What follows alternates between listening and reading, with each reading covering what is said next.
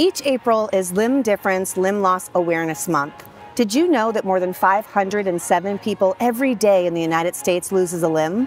The primary cause is vascular disease, and by 2050, 3.5 million people in the United States will be living with limb loss. We don't see them a lot, and there's a lot of reasons why that is. Part of that is their lack of ability to get prosthetics that allow for freedom of movement. So this April, Less Leg More Heart, an organization that provides support supplies and services to improve amputees' quality of life, is making a goal to raise $30,000 and provide 15 people with running blades so they can do just that, live freely and experience the world without limitation.